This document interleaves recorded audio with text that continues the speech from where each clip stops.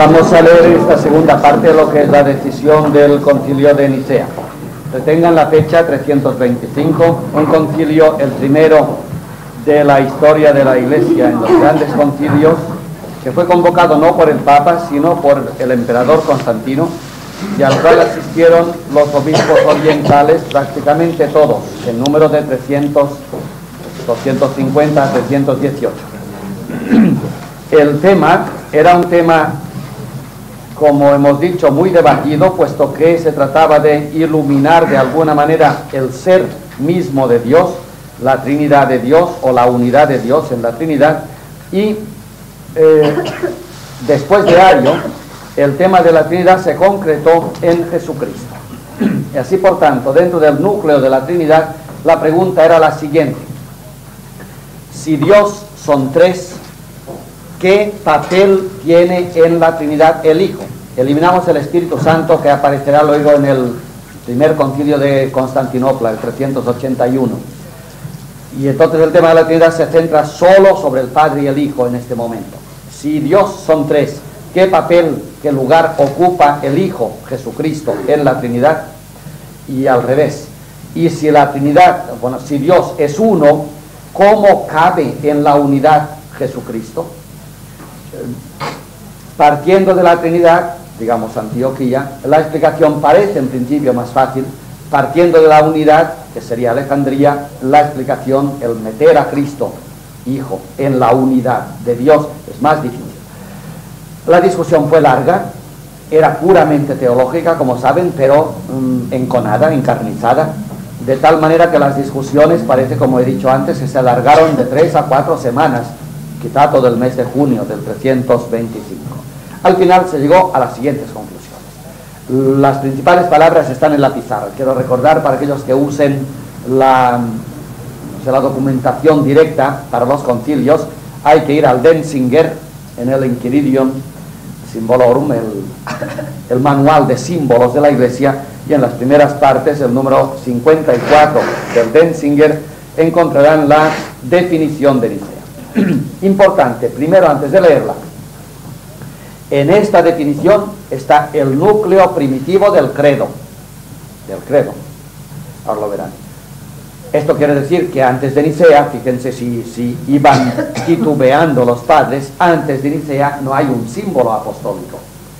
No es que en el símbolo se dice y creo en Jesucristo, Hijo único de Dios, claro, esto es para nosotros, pero esto no existía en Nicea, por tanto no hay un canon, un camino eh, asfaltado por el cual caminar sin peligro, no existe, lo están haciendo ellos. Aparecerá por tanto el núcleo de lo que será el símbolo niceno constantinopolitano que es nuestro credo se llama Niceno por Nicea, ahora lo veremos, ahí está su primer núcleo, y luego se completó en Constantinopla, por esto el, el símbolo o credo se llama símbolo niceno constantinopolitano. Y este credo además es un credo trinitario, pero la Trinidad está reducida a dos personas, como acabo de decir. Se trata de de dónde colocamos al Hijo.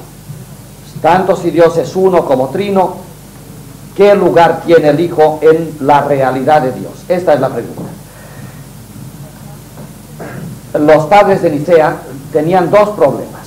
Primero, casi todos proponían desde Alejandría que se hablara de Jesucristo no solamente como Dios, como diré ahora, Cristo es Dios, como vendrá en la definición, sino que al hablar de Jesucristo se pusiera directamente su relación con el Padre. No basta que yo diga, el Padre es Dios y el Hijo es Dios. ¿De acuerdo? Pero, ¿en qué relación están estos dos sino Dios es dos aspectos de Dios. ¿Qué pasa con el Hijo y el Padre? ¿En qué relación están? ¿Son uno más viejo que el otro, anterior uno al otro, más poderoso uno que otro, más Dios uno que otro? Es un peligro griego. Los hijos de los dioses eran dioses, pero semidioses. Jesucristo es un semidios, es un Dios de segunda mano, segunda categoría. Los padres, por tanto, creyeron que la única forma de hablar claro para entenderse y para zanjar problemas era eh, hablar de la divinidad de Jesucristo, que no ofrecía mucho problema, como verán, pero inmediatamente decirnos en qué relación está el Hijo con el Padre. O, si se quiere, en relación con el talía que he leído de Ario. Pues, si colocamos al Hijo en la divinidad, hemos de colocarlo al lado del Padre, de forma que digamos que Padre e Hijo son dos relaciones mutuas. El Padre es el Padre del Hijo y el Hijo es el Hijo del Padre, pero dos relaciones que son posteriores al ser de Dios, que es la divinidad. Dios era Dios al principio y no era Padre, y empezó a ser, Padre. Bueno, y entonces cogieron dos palabras que son fundamentales, las que tenemos allí. Primero, genecenta. Genao en griego significa engendrar, la misma raíz de Gignere en latín, genitus, ¿eh? engendrar, gen, genes, genealogía, esa es la palabra. Genau, genau es engendrar. Y se discutió la palabra, pero la palabra, son tan griegos los griegos que las palabras son significativas. Hoy diremos, ¿qué más da que sea engendrado o nacido o hecho? No, vamos a ver qué pasa. Pues, genau. Aceptamos la palabra genau. Genau significa engendrar en pasiva, esto es el aoristo pasivo, el C, entonces, ponemos en pasiva, engendrado, aceptamos la palabra engendrado y ya tiene la discusión.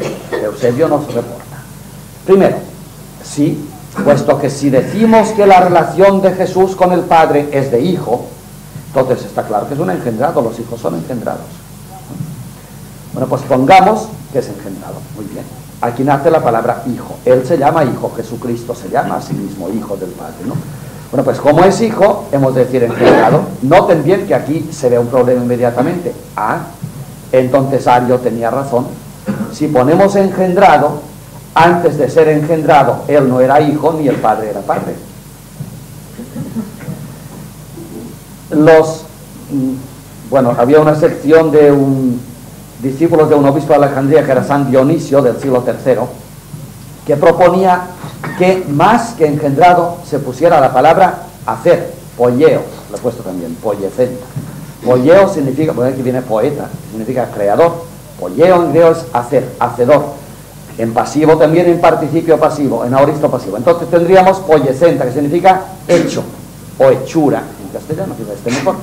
Digamos, por tanto, que el hijo, ven cómo le ponen en relación con el padre, el hijo con el padre es hechura del padre, ha sido hecho por el padre. Y hubo otra gran discusión porque se levantaron los alejandrinos, bueno, esto lo son, es una facción, los de Dionisio, con los otros alejandrinos diciendo, esto está mal, esto está mal y no se puede aceptar el pollecenta, el hecho. ¿Por qué?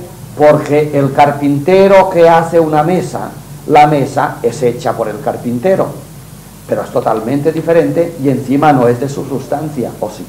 Cuando el carpintero hace una mesa, hace la mesa, la inventa él, pero no se la saca de su sustancia. La mesa no, no es consustancial con el carpintero. El carpintero es hombre y la mesa es madera. ¿Mm? Pero si la mesa es hechura del carpintero, hemos de decir que el Hijo, Jesucristo, es hechura del Padre y que el Padre lo ha fabricado, quién sabe de qué, de pasta de estrella, pero no del Padre. ¿no? Entonces, para arreglar esta fricción entre las dos facciones, viene la tercera palabra, homousio Usía en griego significa sustancia, el verbo mí Y homos significa igual. Por tanto, homousion significa de sustancia igual que el Padre. Y entonces se corrige la hechura del carpintero. Cristo es hecho por el Padre, pero no como la mesa por el carpintero, sino que es de la misma sustancia del Padre. Es como si el carpintero se sacara la mesa de su carne e hiciera una mesa de su sustancia, cosa que no puede hacer el carpintero. Y entonces como ven, ahora esta palabra no remite a la primera y cobra sentido la primera. El Hijo es hechura del Padre, pero de la misma sustancia del Padre. Y entonces, cuando alguien hace algo de su misma sustancia, ¿qué es lo que sucede? Que la mesa es hijo. El Hijo es de la sustancia del Padre. El que necesita engendrado. Entonces, hasta aquí, de modo, momento funciona bien. Se propone una palabra. Jesucristo es hijo del Padre. Por tanto, usemos la palabra engendrado. Engendrado por el Padre. Segundo, y además de engendrado por el Padre, como puede ser un engendro interior en Dios, que se entiende muy bien, el Padre de golpe engendra al Hijo sin más. No, hay que poner una distinción en el Padre. Y el engendrar quizá como eh, Dios es una sola cosa, a lo mejor el engendrar no le distingue bien. Para distinguirle mejor, digamos, diremos que es engendrado y hecho por el Padre. Pero esto tiene un peligro, como el carpintero hace la mesa. no es este hecho, sino hecho por el Padre, homoousion, de la misma sustancia que el Padre. Con lo cual, Al decir que ha sido hecho, decimos que ha sido hecho consustancial con el Padre. Y ya cuando un padre hace algo consustancial con él, le nace un hijo. Y volvemos al bien de Por tanto, queda canonizado el bien de Hasta aquí parece claro. Fíjense con qué titubeos van avanzando. Sin embargo, se dieron cuenta, esto es la proposición, y esto debió durar semanas de discusión. Eh, alguien dijo que, primero, no se puede poner la palabra homoousion, consustancial. ¿Por qué? Porque no es bíblica. Y un concilio ha de extraer el material de, definición de, la Biblia. Y como jamás en la Biblia parece que Cristo sea consustancial con el Padre, hay padres que dicen, no se puede admitir esta palabra. Claro, el griego tiene palabras perfectas. Este homoousion está en el credo, ¿no? Jesucristo, que ha sido en general de la misma naturaleza del Padre, decimos hoy. Es un disparate. Esta traducción está para que de la misma naturaleza. Antes decía consustancial con el Padre, mucho mejor. Consustancial es homoousion, de la misma sustancia del Padre. La sustancia del Padre, que es divina y eterna, esta sustancia es la del Hijo, con lo cual se dice que es divino y eterno. ¿Ven, ¿Ven cómo vamos a la unidad ahora? Claro, consustancial es poderosísimo. La sustancia del Padre es la divinidad, y una divinidad que está más allá de tiempo y espacio. Bueno, pues si el Hijo es consustancial con el Padre, es la misma realidad del Padre y encima tan fuera del tiempo y del espacio como el Padre, o cual quiere decir que es tan viejo como el Padre, tan poderoso como el Padre, tan eterno como el Padre, estamos en la igualdad. Por eso los otros proponían, pero un pollecenta, porque así se distingue un poquitín más. Que homoousion, no sé por qué, ha sido traducido al castellano con la separación, y decimos, de la misma naturaleza que el Padre. Cuando antiguamente el credo latino y el castellano de primera hora decía consustancial con el Padre. Está mejor. El Hijo es consustancial con el Padre. Y es Hijo, por tanto que necenta, engendrado y consustancial con el Padre.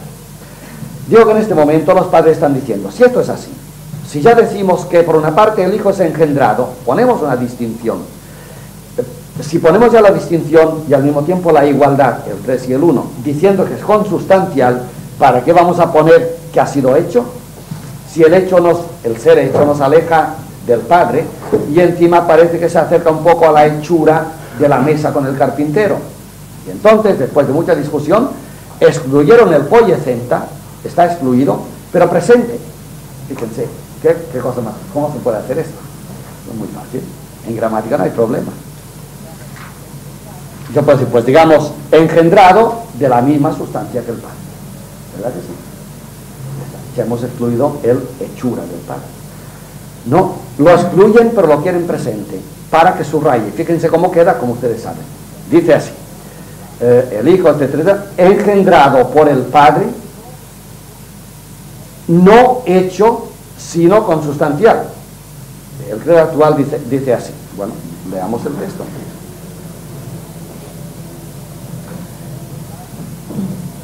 Confesamos a nuestro Señor Jesucristo, Hijo de Dios, engendrado, no hecho de la misma naturaleza que el Padre. Genitum non factum consustancial en, padre, en latín.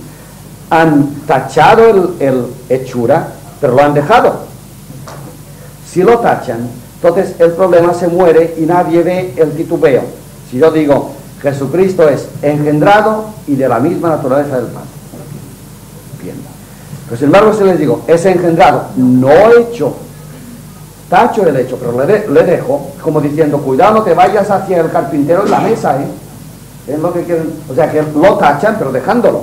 Por tanto, definitivamente el texto de Nicea dice así, creemos en Jesucristo, Hijo único de Dios, luego le leo el texto entero, que es más bonito todavía, que es Hijo, por tanto, engendrado del Padre, no hecho del Padre, para no deslizarnos hacia la mesa, y de la misma sustancia que el Padre, de la misma sustancia. Pero al poner de la misma naturaleza que el Padre, homoousion, que quedó, y al poner además de la, mm, hecho engendrado por el Padre como un hijo de su Padre, hay un peligro todavía. Y es que se ve la distinción, si es engendrado por el Padre, el Padre engendrante es de alguna forma anterior o superior al engendrado, o no, en gramática por lo menos. Tanto está la distinción, pero puede ser todavía demasiado. Si el Hijo es engendrado por el Padre, bueno, pues el Padre se saca de sí algo que ya no es de él, Cuando engendras, el hijo ya se independiza, ¿no? Ya hemos fastidiado al padre porque el hijo le sale respondón, puesto que le sale diferente del padre, aunque la misma sustancia. Y por otra parte, el hijo eh, es inferior al padre porque, claro, si el padre le engendró, el hijo es el engendrado. El participio pasivo es siempre posterior al activo, evidentemente. Bueno, y entonces se descolgaron con una cosa curiosísima que es además la mar de poética, que ustedes la saben en el credo, pero la quiero subrayar. Y leo en griego. para decir, por tanto, otra, fíjense, yo lo hago adrede también para que vean el titubeo, cómo se desliza esto sobre la nieve. Van patinando de aquí para allá, corrigen el patinazo y con una afirmación que luego se desliza por la izquierda, quieren corregir y vuelven otra vez a la derecha y no encuentran, claro, es que no se puede, estamos en el misterio. Por mucho que te metas, siempre queda más por decir. El, el, verbo es creemos, woman, creemos en el Padre, etc. Y en nuestro Señor Jesucristo, Hijo único del Padre, nacido, tanto, engendrado eh, no creado de la misma sustancia que el Padre. Pero para que no haya un peligro de que este Hijo que es engendrado, no creado, y de la misma naturaleza que el Padre, le distingas demasiado del Padre y pongas el Padre aquí y el Hijo aquí, diferentes, esto sea claro de esta manera. Es un engendrado del Padre. Pero están del Padre y están engendrados del Padre de forma que el Hijo engendrado no mengüe al Padre, podría ser respondón, como he dicho, ni el Hijo sea menor que el Padre al ser Hijo del Padre. Esto se dice, digo, poéticamente de esta manera. Por tanto, repito otra vez el texto, Jesucristo, nuestro Señor, engendrado, no hecho de la misma sustancia que el Padre, seon ex seu, Dios de Dios. Oye, si esto es lo que queremos aclarar, ya porque lo meten. Si esto es justamente el problema, ah, pues para que te acuerdes de qué es el problema. Estos padres dicen, estamos aclarando, pero te digo que al aclararlo, volvemos al principio, este es un, do, es un Dios de Dios. Y claro, si es Dios de Dios, notar bien, si es hijo de Dios, este hijo puede ser inferior a Dios, pero si es Dios de Dios, el segundo Dios es tan Dios como el primero, porque si no sería Dios. Ahora se han colocado. Pero se han colocado después de haber hecho la afirmación limitativa. Luego explicarlo, ¿no? Todo lo que están diciendo es inferior a Dios. Vamos a ver cómo se une el Hijo con el Padre en la divinidad. Y lo van diciendo. El Hijo es engendrado, no hecho, consustancial, que han puesto limitaciones. Luego se dan cuenta dicen, pero un momento, ¿eh? Un momento. Es tan Dios como Dios, ¿eh? Con lo cual ahora han decapitado a Ario. Es tan Dios como Dios. Y el Padre no pierde nada al engendrarlo, ni era menos antes de engendrarlo, ni el Hijo era menos antes de ser engendrado. ¿Y esto cómo se dice? Y sigue. Fos et fotos. Luz de luz. Y la luz que engendra luz ni pierde al engendrar, ni la engendrada es menos luz que la luz que lo engendró. Ahora empezamos con la poesía. Está bien dicho, ¿verdad? Y lo decimos cada día. Luz de luz, Dios verdadero, Dios verdadero, corriendo, corriendo, lo decimos sin darnos cuenta de las bofetadas que corren por ahí dentro y del esfuerzo que hicieron estos padres para lograr decir esta cosa que en realidad es maravillosa, pero en realidad no aclararon el problema. Termino, termino ya con la exposición y luego verán el comentario definitivo, como se ve que esto va siendo un círculo como la pescadilla que se muerde la cola. Eh, al terminar están en el principio. Eh, seon exeu, fos ex fotos, seon alecinon. Claro, insisten todavía. O sea, es Dios de Dios. Cuando el Dios segundo está en Dios como el primero, si no, no sería Dios de Dios. Luz de luz. La segunda luz está en luz como la primera, la primera está en luz como la segunda, no pierde nada al encontrar la segunda. Y tercero, y por si crees que este Dios de alguna forma eh, es un Dios menguado, es Dios verdadero de Dios verdadero. Por tanto, no es un Dios de Dios verdadero, por tanto el segundo sería más pequeño, ni es un Dios verdadero de Dios, es un Dios verdadero de Dios verdadero, con lo cual el primero y el segundo son exactamente iguales. O sea que empiezan diferenciando, digamos, dan una de cal a Antioquía, y luego terminan concentrando, dan razón a Alejandro. Las dos escuelas tienen razón. Luego vendrán más bofetadas en el siglo que viene, que son más serias todavía. Pero de todas formas, lo que quiero es aclarar e insistir, este texto es venerabilísimo, de lo más sagrado que tiene la religión cristiana, es un esfuerzo admirable de una lengua, la griega, que logra decir palabras muy sonoras y, sin embargo no caben en tanta sonoridad las sonoridades de Dios, pero que al mismo tiempo, al hacer una afirmación teológica que durará dos mil años, hasta hoy por lo menos, es una afirmación teológica de tensión, de titubeo. No logran decirlo definitivo. Con lo cual nos dicen, sin decirnos, que cuando se habla del océano de Dios en el cual nos podemos sumergir lo que queramos, esto está dicho con lo del misterio, sin embargo, la única forma de agarrar algo de Dios en el verbo humano, en la gramática humana, es la tesis y la antítesis, o sea, la paradoja. Por línea no se puede decir. Si yo digo, hago ahora las afirmaciones que cogieron de Alejandro, supongo que digo, bien, Dios es uno y Jesucristo, nacido entre nosotros como hombre, pero que es Dios, es el verbo de Dios, es exactamente igual que el Padre, es Dios de Dios, luz de luz, verdadero Dios, de verdadero Dios. Ustedes me dirán, oye, lo dejas como antes, ¿eh? A ver, ¿qué nos has hecho? ¿Eh? Como antes. Es el misterio de Dios. Han metido, han metido al Hijo y al Padre todos los dos en un saco y ha dicho de los dos lo que antes sabíamos de Dios. Pero yo preguntaba, ¿y en qué relación están el Hijo con el Padre? No te pongo ninguna diferencia. Dios de Dios, luz de luz, verdadero Dios de verdadero Dios. Esto es uno, es uno. Pero esto te lo digo después de haberte dicho las separaciones. Y por esto antes eh, he tenido que acudir a Antioquía para recoger de allí la tesis que será la de Ario, la que hemos dicho. Antes he dicho, Jesucristo es engendrado del Padre. Te estoy diciendo diferencias ahora ya. No sé cómo, pero te las digo. Engendrado, tú ya percibes. Hombre, engendrado, entonces si es engendrado, antes de ser engendrado no era engendrado. Ahí van las diferencias. Engendrar. No hecho. Y al decir no hecho, digo que no es hecho. Pero al decirte que no es hecho, te digo que por ahí van más o menos, ¿no? Por eso lo han tachado, pero lo han dejado al no hecho. No es hecho, ¿eh? No es hecho, te digo. No es hecho. ¿Sabes? No es hecho. Con lo cual tú vas bien, sí, sí, bueno, sí. Y cortamos y delimitamos al hijo. Así que engendrado, pero no tan engendrado que te creas que sea una mesa de carpintero, ¿eh? No no hecho, hecho no, hecho no. De la misma sustancia que el Padre, de la misma, con lo cual ya distingo dos. Es la misma, pero él, número dos, es la misma sustancia que el número uno, pero ya, ¿ven? Claro, y claro, dicho esto, yo caigo en la cuenta y digo, este se va con la idea de que Cristo es un engendrado y que por tanto el Padre es más que él, anterior a él, es no hecho, pero engendrado, de la misma sustancia, que lo que entra en la sustancia de Dios, y él, el pillo este, lo ha agarrado y es de la sustancia de Dios.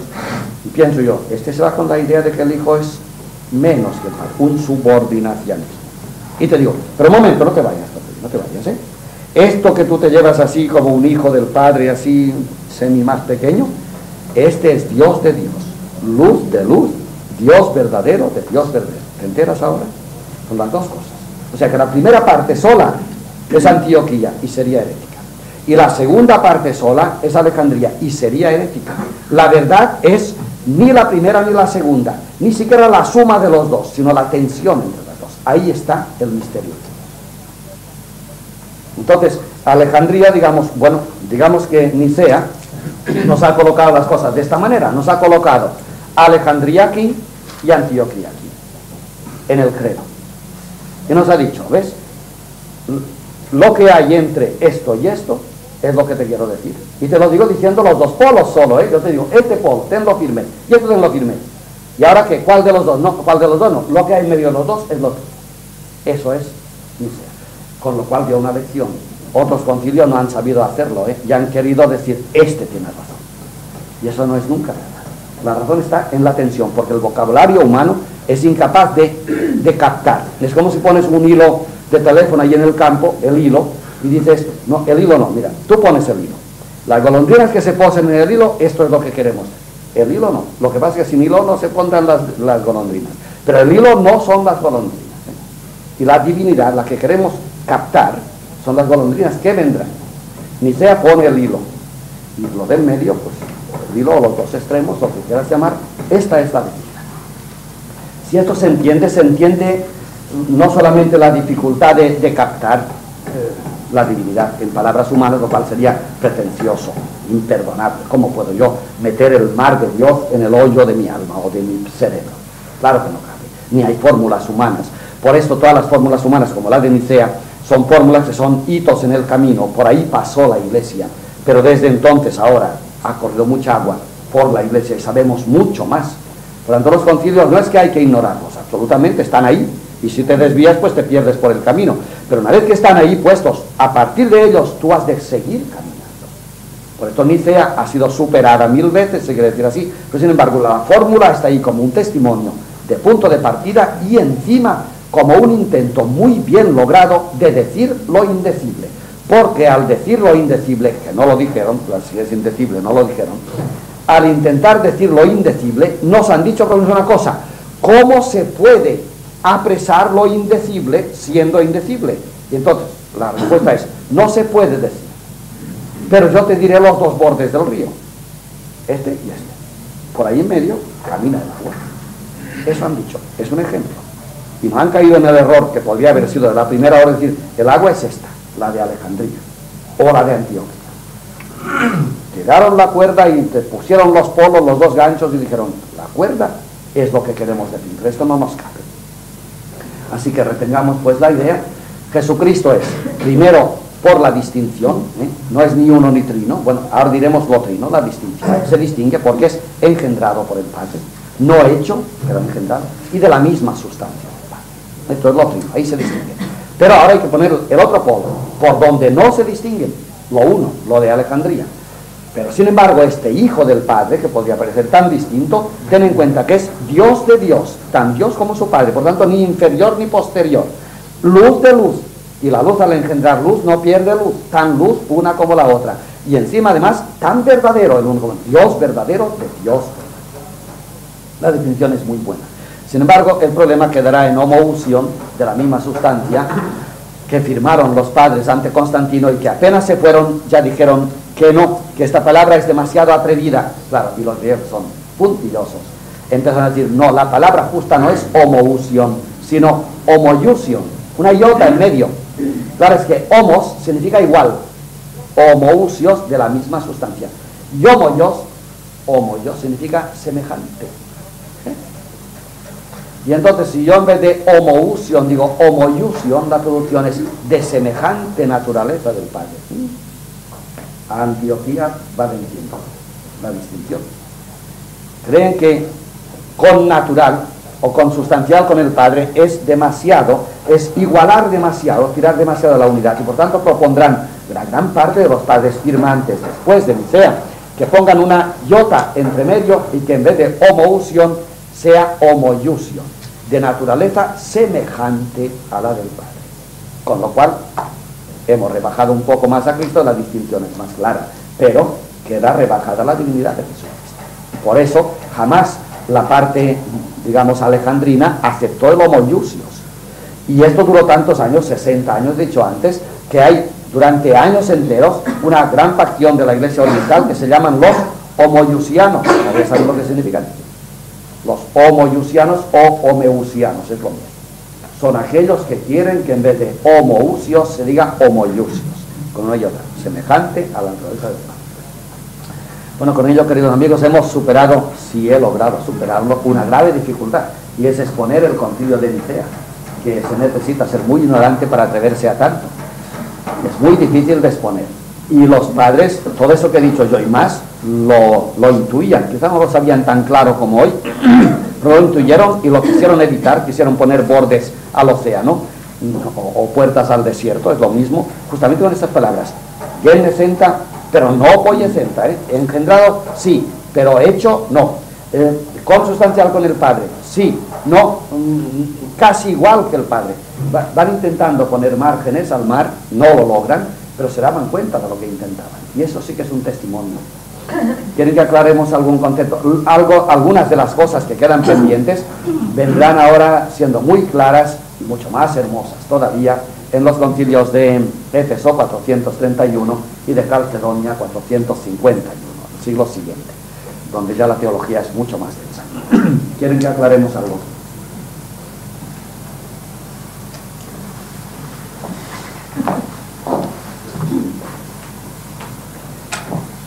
Yo más que aclarar, lo que he hecho falta es que no, no nos ha dicho nada del Espíritu Santo. No. Como que queda... No aparece en el sínodo. Bueno, aparece como definición en el credo, que no es completo, en Nicea, y mm, aparecerá la doctrina del Espíritu Santo en Constantinopla 381.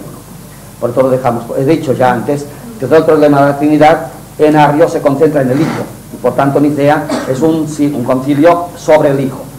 No sobre el Hijo porque entre es el Hijo, sino sobre la relación del Hijo con el Padre. Una vez que se ha establecido esta relación, la definición del Espíritu Santo que vendrá el 81 es más fácil porque es el mismo camino. Pero no he hablado porque en Nicea no se habla del Espíritu Santo. Una pregunta que tengo que pedir perdón. Yo no soy catequista y he venido como un curioso a escuchar estas conferencias. Y la pregunta me plantea un problema de fe personal mío y por eso pido perdón a todo el mundo.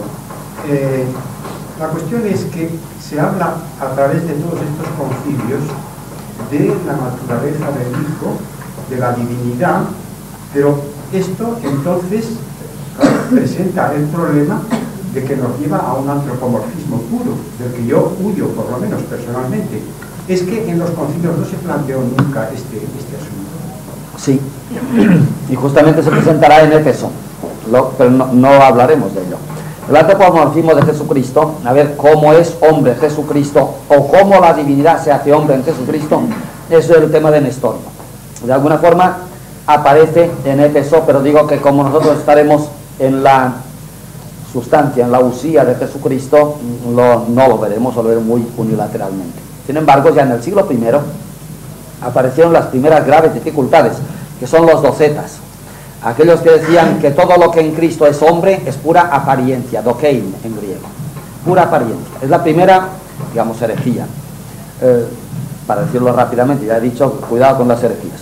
La primera herejía que aparece ya en tiempo de San Juan el Evangelista son aquellos que dicen que Jesucristo es tan Dios, tan igual que el Padre, que todo lo que parece humano en él es una pura aparición, igual que se aparece la Virgen de Lourdes.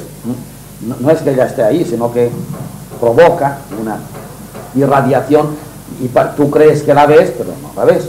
Pero pues sin Cristo es igual. Cristo era un Dios que anduvo por aquí, como Dios anda siempre, y de golpe se, no es que se condensara siquiera en cuerpo humano, los que toparon con él le vieron como humano, pero no lo era.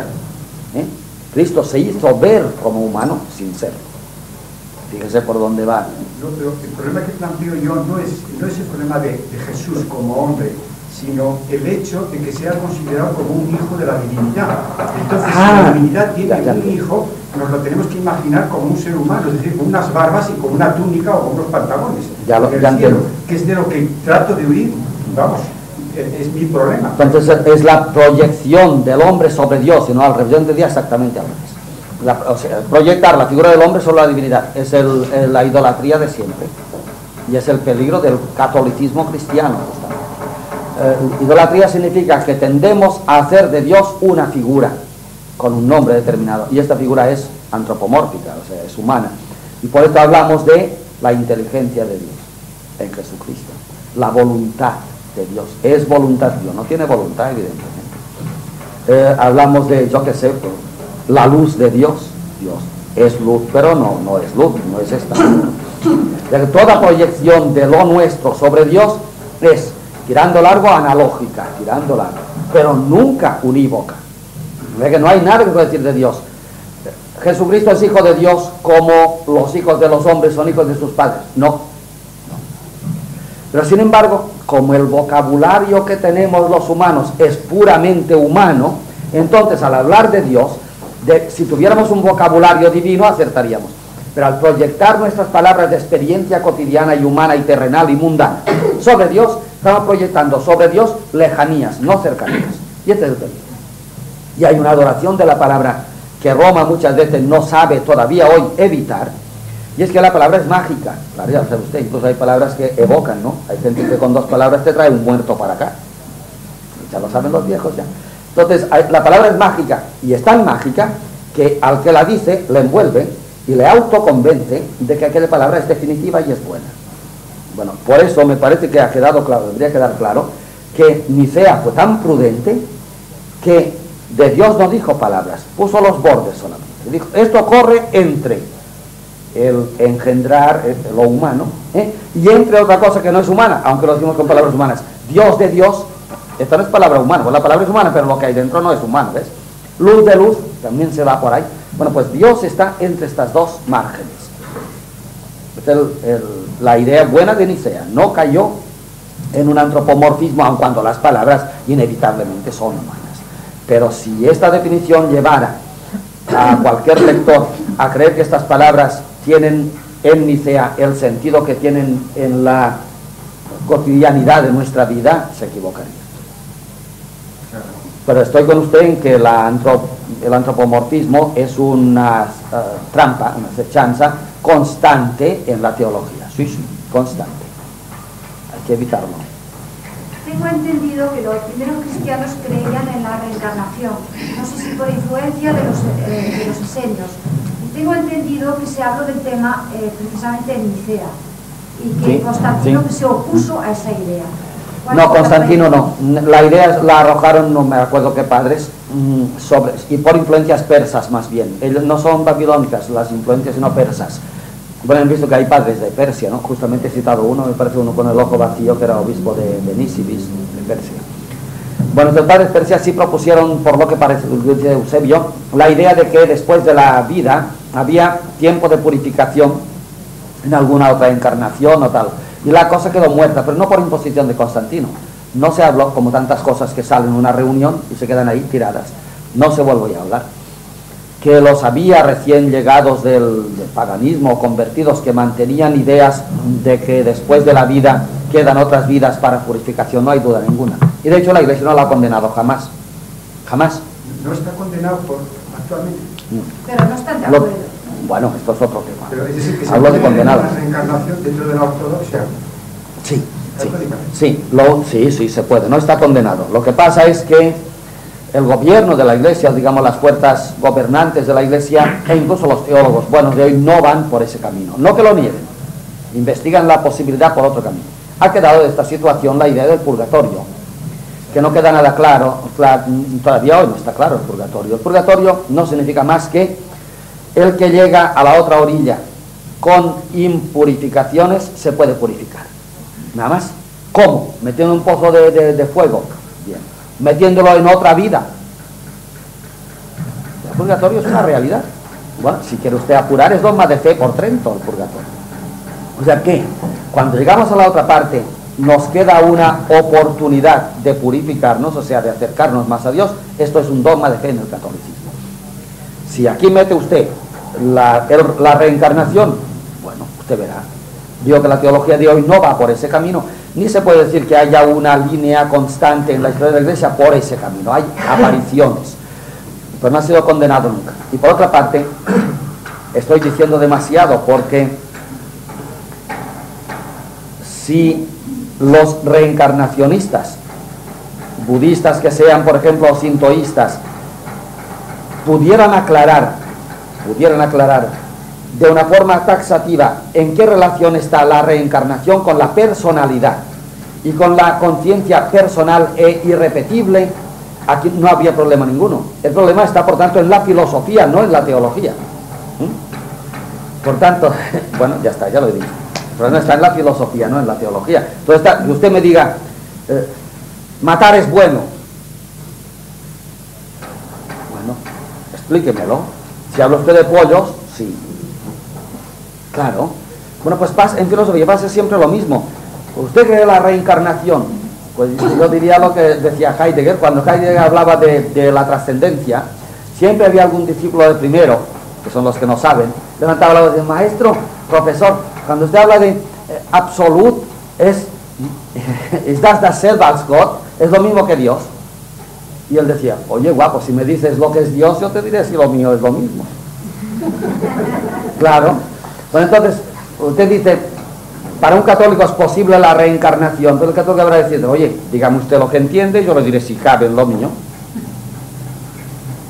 porque la reencarnación la entiendo como una vuelta a esta tierra para purificar lo que se ha hecho mal en la anterior. Manteniendo una personalidad propia, la misma de antes. La la misma alma. Entonces no hay problema ninguno. No, no hay problema ninguno. En la teología no- hay ningún problema. Entonces, el purgatorio al infierno. también. Para orígenes el infierno es otra purificación, no es definitivo. Lo cual es un tema que es muy posible que sea verdadero. ¿eh? El infierno que sea una purificación, digamos, de otra categoría que el purgatorio, pero que sea el infierno. Es que hay muchos sacerdotes cuando se habla de la palabra reencarnación huyen como si fuese demonio. Bueno, pero esto puede ser por dos motivos, o por la reencarnación o por la ignorancia del sacerdote.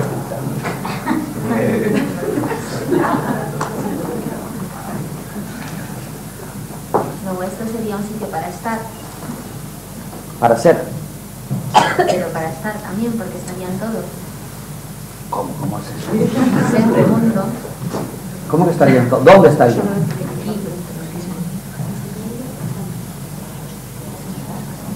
O sea, al revés, que los que estamos aquí no somos más que reencarnados, quiere decir. Cogiendo eso, sí. No, si no se puede decir porque nadie ha dicho jamás, ni de los reencarnacionistas, que el número de, de vivientes corresponde con el número de purificantes.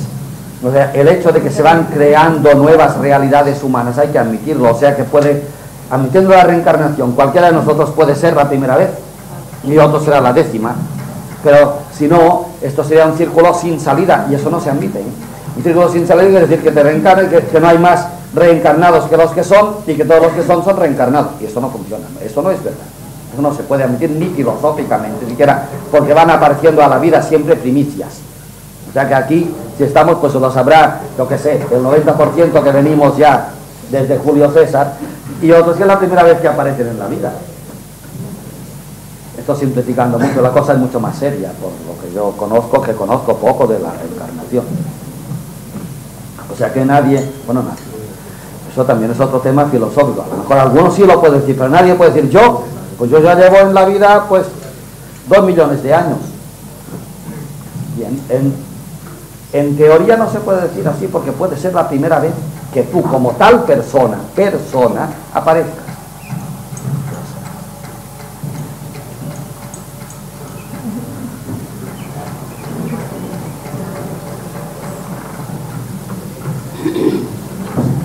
Sería bueno señalar que la cuestión de Dios, el gran misterio, no es el único misterio para el hombre, ni mucho menos. Es decir, eh, cuando estamos hablando de la luz, y uno dice que es corpúsculo, y otro que es onda, y otro que es onda asociado a corpúsculo, y otro que es energía pero que no es materia, tenemos una ignorancia tremenda. Pero es que cuando hablamos del universo nos pasa igual. Decimos que es infinito, que no, que no es infinito, pero es ilimitado. Cuando hablamos del espacio, del tiempo, de las cuatro, de las cinco, de las siete dimensiones espaciales, hay una cantidad de problemas, de eso al evolucionismo, el origen del hombre, que son tremendos los, problemas. Y a veces hablamos de Dios y decimos, qué gran misterio, qué gran misterio, como si solo existiera ese gran misterio. Estoy de acuerdo. Lo que pasa es que aquí estamos hablando de Dios. Ahora, no se puede excluir y decir, yo hablo del único misterio que existe. No, no, o no lo he dicho jamás. Por otra parte, si usted me permite, yo le diría que después de aclarar, como hemos hecho hoy, la parte de la derecha, ahora digo la izquierda. Sin embargo, no hay más misterio que el misterio de Dios. Porque todos los que ha dicho usted son misterios de Dios. Dios es el ser.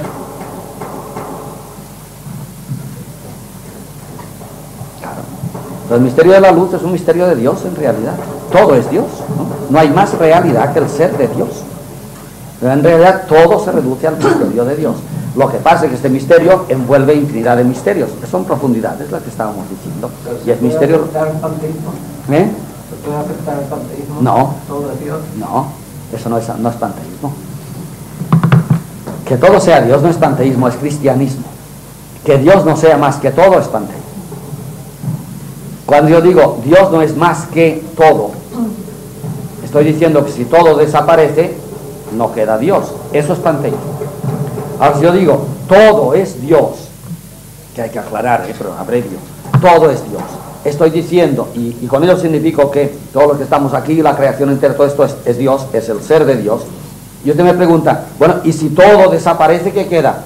Y yo contesto, queda Dios. Yo no soy panteísta, soy cristiano. Es- eso se llama reduccionismo. Si yo reduzco a Dios a todo, soy panteísta. Ahora, si al decir que todo es Dios no reduzco a Dios a todo, soy cristiano. Piense en Jesucristo. El Padre y yo somos una sola cosa. Y vosotros y yo somos una sola cosa. Toda la creación es divinidad.